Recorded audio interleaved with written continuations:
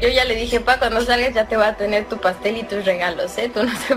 ¿Ya estás suscrito al canal? Activa la campanita para que te lleguen nuestros videos. El equipo de Exclusivas TV. Daniela Parra responde si está enamorada de su padre. A casi un mes del arresto de Héctor Parra, luego de que su expareja Ginny Hoffman lo acusara de tocamientos hacia su hija Alexa, el actor sigue confiando en demostrar su inocencia, especialmente su hija mayor Daniela, con quien la prensa habló sobre la delicada situación que vive su padre. Seguimos fuertes, mi papá está bien, ayer hablé con él, ayer fue su cumpleaños y... Daniela dijo estar confiada en que todo saldrá bien y de la mano de su padre aseguró no perder la esperanza. Y, está muy bien mi papá, es, una, es un hombre muy fuerte, ya lo he dicho muchas veces. Y yo también, y, somos un equipo y estamos haciéndolo bien los dos y vamos para adelante los dos. ¿Pero qué le dijo en referencia a su cumpleaños? Yo ya le dije, pa, cuando salgas ya te va a tener tu pastel y tus regalos, ¿eh? Tú no te preocupes, porque todos los años, eso sí, eh, incluso Alexa le llegó a hacer cada año pasteles de lo que él quisiera en su cumpleaños. Sobre la comunicación que guarda con su hermana, Daniela dijo estar más distanciada que nunca de ella.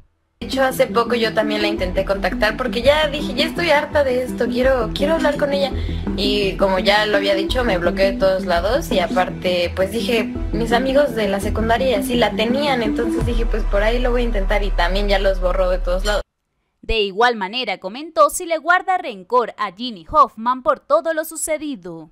A ella Mm, igual como ella me trató con indiferencia toda su vida, yo no la tengo que perdonar o no. Aseguró no ser la indicada en perdonar a nadie y prefiere que todo se dé conforme a la ley. A mí esa señora simplemente no me va, no me viene, quiero que pague por lo que está haciendo. Asimismo, fue cuestionada por los rumores que andan en boca de todos luego de decirse que su apoyo y amor incondicional a su padre se debe a que se encuentra enamorada de él como hombre. No, ¿cómo crees? Ni siquiera había escuchado eso. Mi papá y yo siempre hemos tenido una relación increíble. De hecho, mira, yo estoy abierta a que me hagan exámenes psicológicos, quien quiera. O sea, mi papá y yo tenemos una relación meramente paternal, padrísima, somos mejores amigos. Daniela dejó saber que esta idea es muy descabellada ya que su padre conoce a su novio y ambos conviven muy bien. Mi novio, lo yo tengo novio, mi novio lo conoce, se llevan padrísimo, tú lo conoces también, mi novio ahí está siempre con nosotros, o sea, no, para nada, para nada.